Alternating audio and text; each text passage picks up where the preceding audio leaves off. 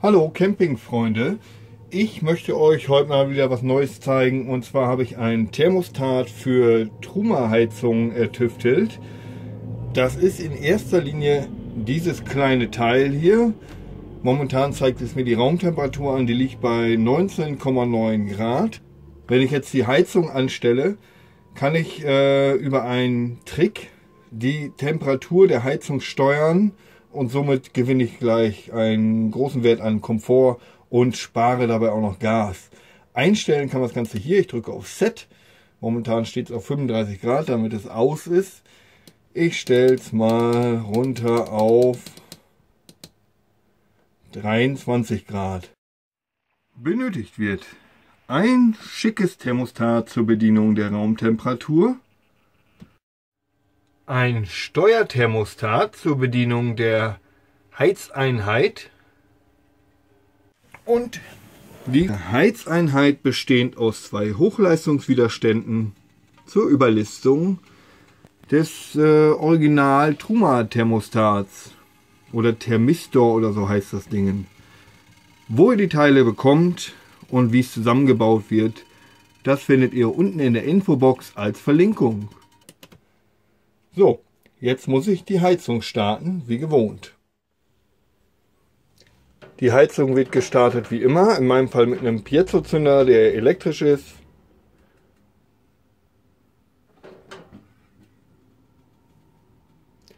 Da ist er und ich stelle die ungefähr so auf 70 Prozent, also auf 7 von 10 ist das in meinem Fall.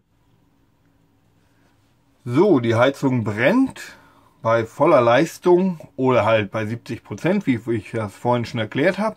Und denjenigen von euch, die eine Heizung schon mal auseinandergenommen haben oder die Abdeckung auseinandergenommen haben, fällt direkt was auf. Und zwar ist das dieses Teil hier unten. Da sind zwei Hochleistungswiderstände und ein Temperaturfühler. Da sitzt hier auf dem Temperaturfühler der Truma Heizung. Das ist auch schon der Trick und zwar, wenn jetzt die Raumtemperatur über die vorher von mir eingestellten 24 Grad steigt, dann erhitzt sich dieser Hochleistungswiderstand auf 45 Grad, gaukelt der Heizung somit vor, sie, wird, sie wird zu heiß und die Heizung schaltet in einen, ja, ich glaube es heißt Notlauf. Auf jeden Fall fährt die so weit runter, dass, das, äh, so, dass die Flamme noch so gerade eben brennt, aber dass sie nicht ausgeht.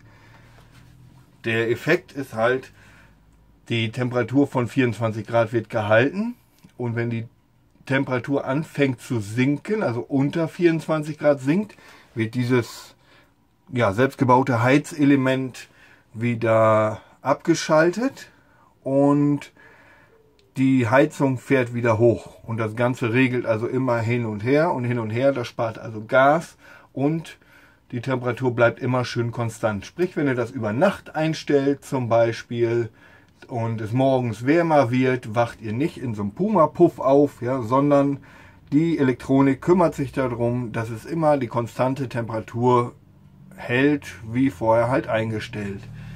Gesteuert wird dieses Element über ein zweites Thermostat. Das sieht so aus. Das zweite Thermostat zur Steuerung der Hochleistungswiderstände ist hier verbaut. Momentan ist es noch aus, weil die eingestellte Raumtemperatur von 24 Grad noch nicht erreicht ist.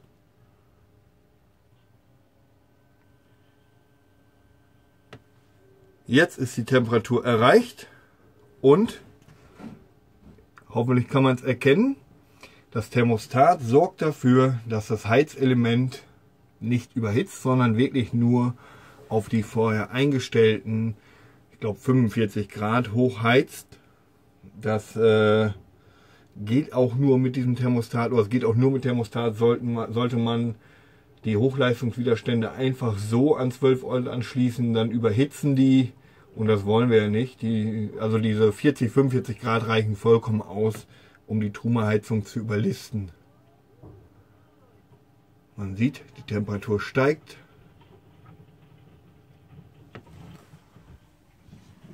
Und dieses Element wird jetzt wärmer.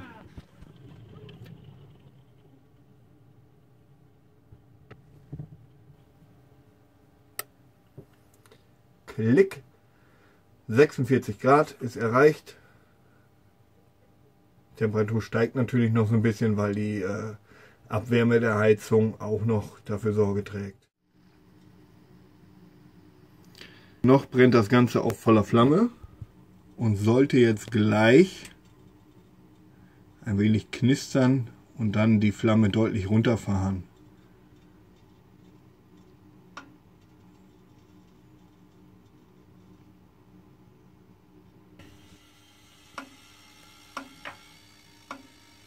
Da hört man es knistern und die Flamme fährt runter.